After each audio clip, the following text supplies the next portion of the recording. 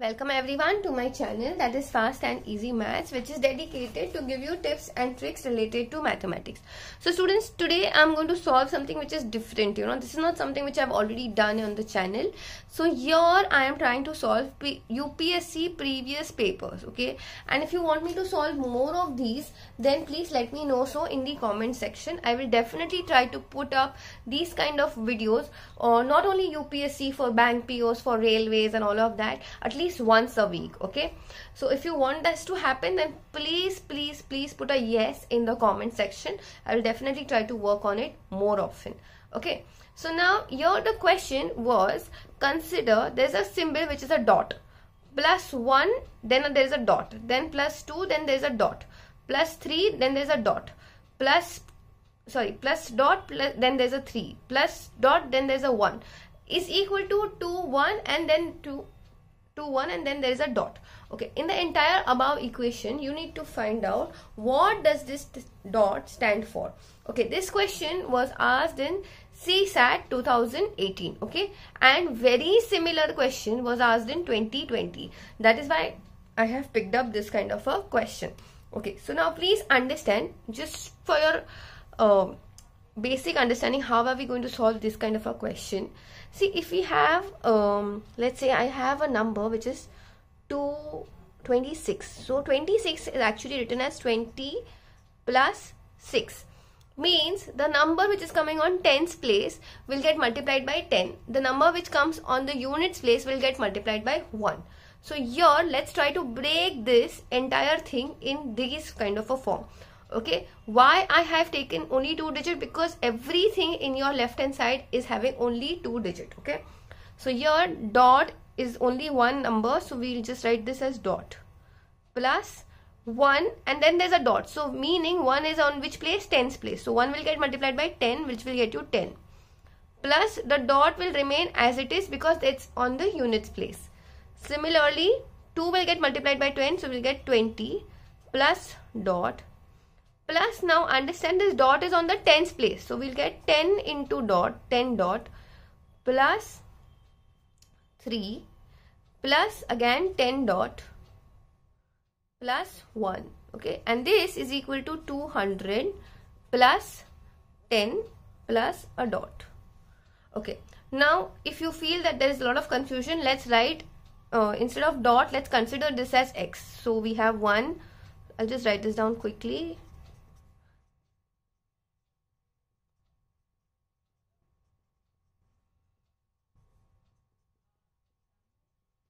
is equals to 210 plus x okay?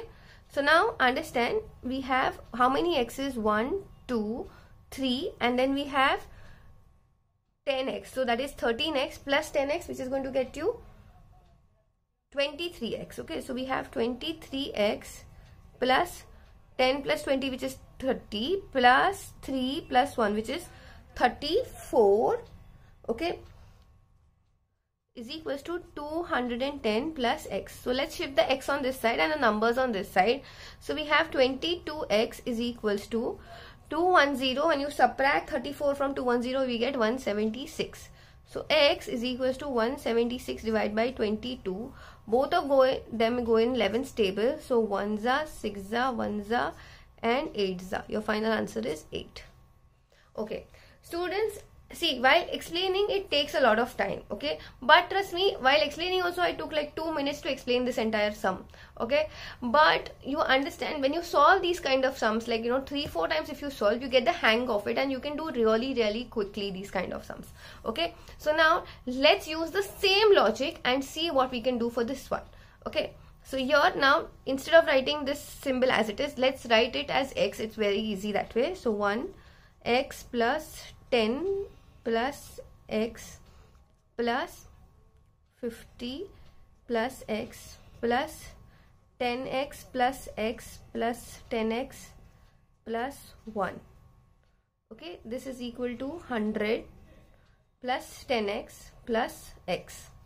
Now understand students see when you have same number uh, same same things represented on either side of the equal to okay? And we are having the same signs meaning 10x and 10x can get directly cancelled.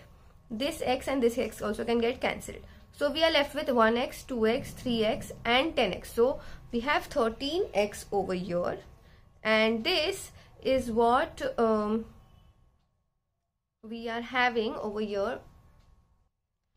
10 plus 50 is 60 and 1 so we have 61 and 100 when you take 61 away from 100 you are left with 39 so x is nothing but what? 39 divided by 13 is equals to 3 so you saw you could actually solve this sum in one minute okay? Eh, actually not even one minute. It depends on your calculation speed okay? So for this i always tell all my students that please please please increase your calculation speed because this is where one area where you can beat others okay? And you can save a lot of time. Students if you like the way i'm explaining then please go ahead and hit the like button because that gives me tremendous amount of encouragement in doing these kind of videos. Now very quickly see few more questions. So the question is, what is the least four digit number which when divided by 3, 4, 5 and 6 leaves a remainder of 2?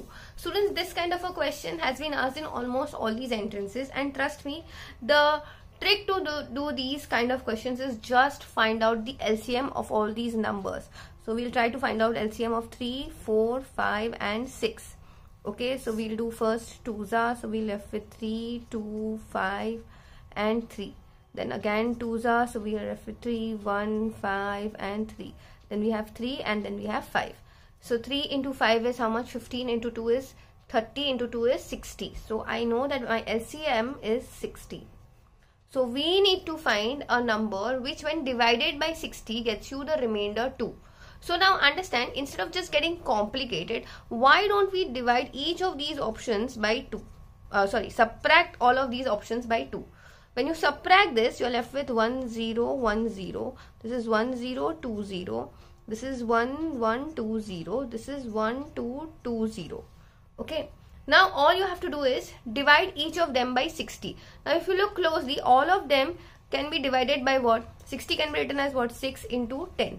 So, we don't need to check for the divisibility rule of 10 because all of these have a last digit which is 0. So, all you need to check is for divisibility rule of 6. Now what is the divisibility rule of 6? It has to be an even number which all of them are and all the digits adding should be divided by 3 because any number which is divided by 2 and 3 that number will be completely divisible by 6. So the divisibility rule of 3 will check for all of them. This is not because 1 plus 1 will get you 2. 2 is not divisible by 3. 1 plus 2 is going to get you how much? 3 and that is divisible by 3. 1 plus 1 plus 2 is getting you 4 that is not divisible by 3 1 plus 2 plus 2 which is 5 that is also not divisible by 3 so option B is your correct answer okay see understand. You could have eventually taken all of this or you could have simply taken 60 stable and multiplied by 15 you would have gotten something as 900 so then you add what? 120 to it so you get 1020 and so 1020 if you add 2 to it you will get 1022 that is also another option. But not everyone will uh, remember that 60 into 15 will get you 900 okay so that is why this is something which can happen to people if they are very good at tables. If you're not still you can i'm saying you still you can do really well in all of these entrances. Do not panic just use your basic understanding and do it. Okay? So that's it for now. I will very soon see you in the next video. Bye